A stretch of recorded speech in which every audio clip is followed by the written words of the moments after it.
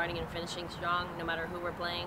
So I think today we definitely accomplished that, um, not stooping down to their level and just playing the best we possibly can.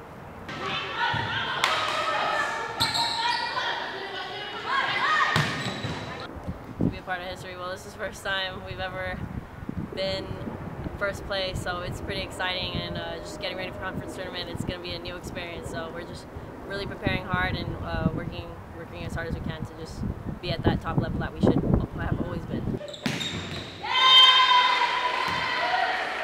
We're just expecting to finish out strong.